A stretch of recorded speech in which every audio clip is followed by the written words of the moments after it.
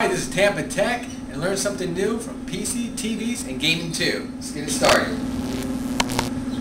Hi, it's TampaTec, and I'll show you how to factory reset your Google TV device. Only thing you have to do is press home button, then press menu button. Then you want to go down and then press OK. System settings. So once you um, go into system settings, you're going to go down to privacy and safety. And then go ahead, if you want, you can click on backup your data to Google servers. Next thing you want to do is go up to factory data reset. Click on that. Click on reset device. Erase everything. Shutting down.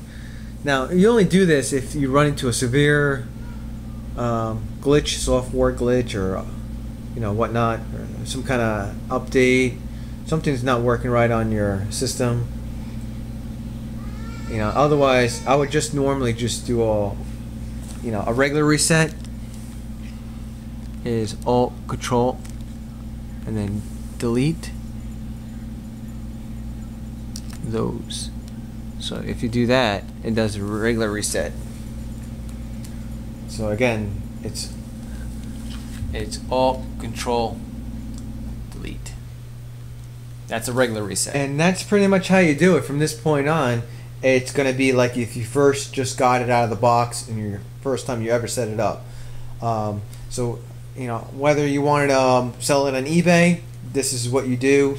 Doing a factory data reset but if you just want to do a regular reset to, um, you know, if things are freezing up or there's apps causing it to crash, this is a regular reset. You know, that won't delete your um, data. So that's how it is.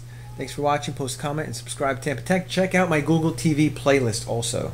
Thanks, guys.